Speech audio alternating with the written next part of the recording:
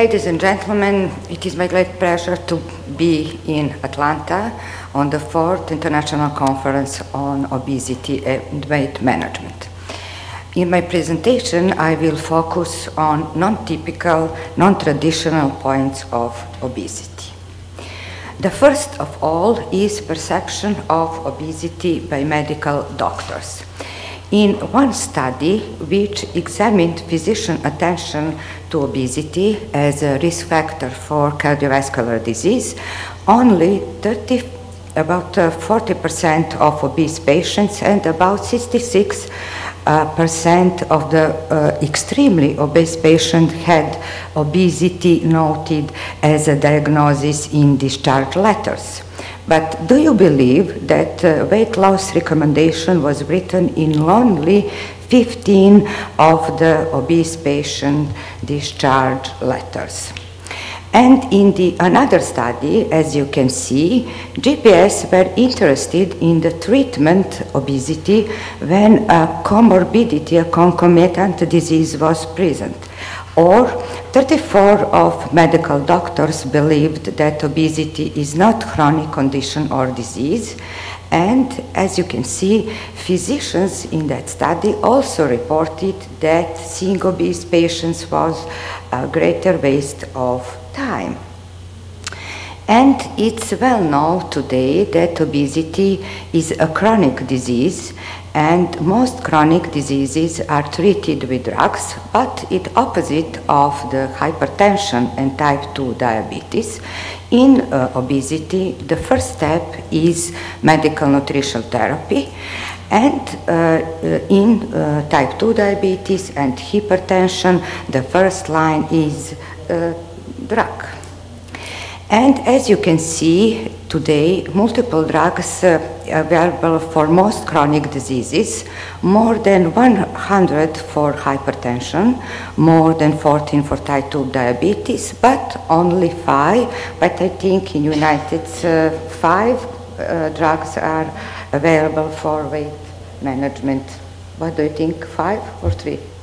I think five in United States. In my country, Five, five, yes, but in my country only one. It's Orlistat. The second point is determination of obesity determined by body mass index and body fat. It is not enough to stand on weight scales. It's necessary to measure body mass index and that is known that there is a strong relationship between body mass index and fat, body fat percentage. And as you can see, individuals with a higher body mass index are at an increased risk for obesity uh, comorbidities such as heart disease, hypertension, type 2 diabetes, and some form of malignancies.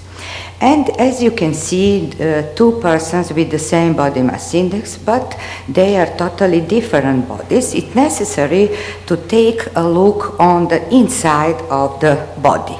It is important to know all the parts of our body, total body water, uh, to know fat mass, and to know everything about muscles. And it's well known that visceral intra-abdominal obesity is a risk factor for comorbidities of obesity. So visceral intra-abdominal adipose tissue is so important. But besides intra-abdominal visceral adipose tissue, it is important to know everything about ectopic fat. As you can see, it's uh, muscular fat, fatty liver, it's perivascular fat, pericardial fat, uh, also uh, fatty myocardium, renal sinus fat. And do you know that the breast volume is an independent predictor of visceral and ectopic fat in premenopausal women? And as you can see in this study, uh, uh, in which uh, fat tissue uh, was evaluated by uh, magnetic resonance imaging and as you can see women with the highest breast volume had approximately 1.1 and 1.3 kilos more visceral adipose tissue. But on the other hand uh, these are a result of a study of my group, and we measured the retrobulbar adipose tissue by magnetic resonance imaging on the level of the optic nerve. And as yet you can see, uh, obese people had higher retrobulbar adipose tissue volume, and it's uh, uh, important to point out that there is a relationship be between the volume of retrobulbar adipose tissue and the insulin resistance measured in these patients. What that means? Is that means, uh, analogly to fat liver, we can determine fat eyes, or this, uh, this is not exophthalmos, it's fat eyes. And I think this is a reason for why uh, obese people on this cartoon wear glasses. And also it's important to point out how often is body mass index frequently used in everyday clinical practice misleading. And for almost one in five adults, the two measurements not the same. 11% who were overweight according to body mass index had normal body fat and about the third of uh, patients who were of normal weight according to body mass index has a higher content of body fat. Point about epidemiology. It's well known that the prevalence of overweight and obesity is in increasing rate. I'm coming from Serbia, where, the, where more than a half of population are overweight and obese. Novak Djokovic is a famous uh, player, tennis player in the world, world, is not our representative of body imaging. And as Andrea showed, uh, worldwide obesity has doubled since 1980. Andrea showed uh, uh, data from 2015 where 1.9 billion adults are overweight and obese. But it's well known that uh, it's a trend to uh, in increasing prevalence of extremely obese patients and super obese persons. But what about waist circumference? Also, it's uh, well known that uh, there is increasing trend in waist circumference racing among adults from 1993 to 2012. And as you can see in one European study, the prevalence of increased waist circumference is higher among women than men and uh, uh, waist circumference was increased for 6 centimeters in a group of women and 4 centimeters for men. So what that means? We are heavier and heavier and on the other side uh, in, uh, uh, in uh, in uh, these patients, it's uh, expanded waistline. We are heavier and with expanded waist. It's something new. So, the fourth point is Does healthy obesity really exist? Or, on the other side, are all obese people really the same?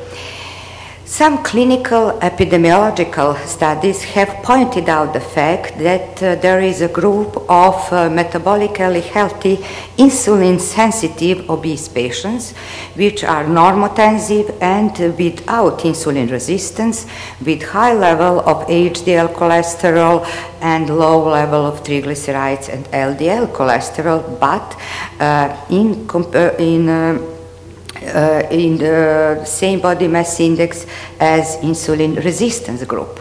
So, about epidemiology, it's well known that about the third of obese population uh, is classified as metabolically healthy but obese. But what about risk for type 2 diabetes and cardiovascular disease? Insulin sensitive obese subjects, uh, metabolically healthy obese patients, had increased risk for type 2 diabetes and coronary heart disease, but as you can see, on the lower level than insulin resistance people. But uh, what's uh, important there? It's important there, I think, that in a group of insulin sensitive obesity is a diameter of, of adipocyte. In a study which was conducted uh, from my group, we pointed out the fact uh, that uh, adipocytes, uh, adipocyte size is very important to determine the level of risk. As you can see, metabolically healthy obese had uh, smaller adipocytes in both depots, subcutaneous and visceral uh, obese person. So adipocytes is very important and my question is, is it possible that in the future we will measure adipocyte size at a to determine the risk of uh, cardiovascular disease, the risk of type 2 diabetes, or, or I think it's something uh, to do in the future.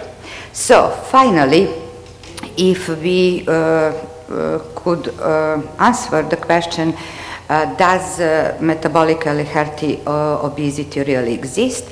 As you can see in this study, it's well known that metabolically healthy obesity is a transition phase to metabolically unhealthy obese. So there is no healthy obesity. What about treatment obese patients with type 2 diabetes? Uh, during the treatment patients with type 2 diabetes, uh, weight gain can be a problem to intensifying treatment. Approximately about half of patients are very anxious about their weight, also doctors. And it's well known that uh, weight gain results in an increased cardiovascular risk factors. And uh, glucose lowering medication has different effects on body weight, and some of them are associated with weight loss. I call them weight friendly. And uh, uh, medical doctors should uh, use the best option for his patients. And what's about benefits of weight loss? Ten years ago, I wrote a book, uh, Obesity is a Treatable Disease, and uh, uh, in that period, uh, there uh, was something about weight reduction, and it was well known that uh, weight loss about 5 to 10 percent is associated with the reduction of risk for comorbidities uh, in diabetes, uh, modest weight loss, about 5 to 10 percent, reduce the risk of developing diabetes by uh, over 50 percent. But today, due to gastric bypass surgery, we can explain not uh, uh, reduction the risk, but in this study, which was conducted uh, three years ago, about 88% of diabetic patients show diabetes remission. It's also, again, something new. But also hypertension and lipids and lipoprotein disorders also improved due to bariatric surgery. What about uh, obese patients in everyday clinical practice? The physical examination may be particularly challenging and they may be lost a sensitivity of the examination. I think it's important in everyday clinical practice.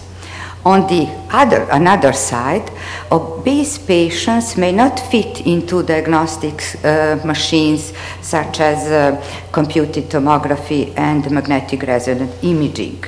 Uh, the limit of uh, these machines is about 140 or 150 kilos. And what about uh, X-ray? Chest radiograph shows, as you can see, limited diagnostic quality and also ultrasound.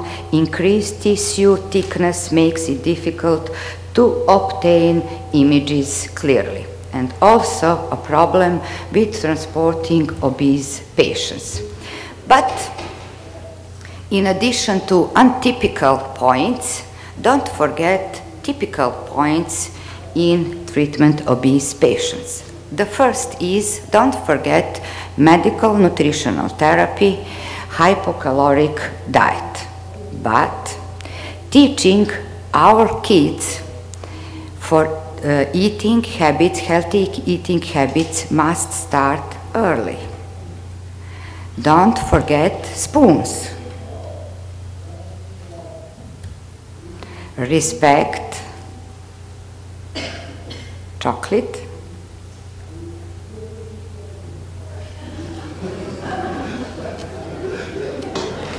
And one mother asked, Can my baby eat ice cream? Not recommended. And it's the first taste of lemon. Don't give up. And the second is physical activity. Exercising with your dog.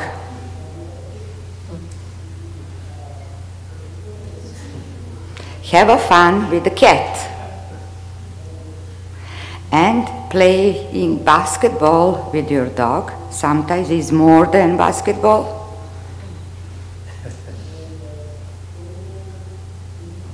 and you're smiling. It's the small increase in physical activity, and it is my small preventive action in prevention obesity or to treat obesity. So, finally, as my friend Garry Kasparov, world chess champion, said, playing chess is the same as treating obese patients. Find the best move, the best option for your obese patients. Thank you.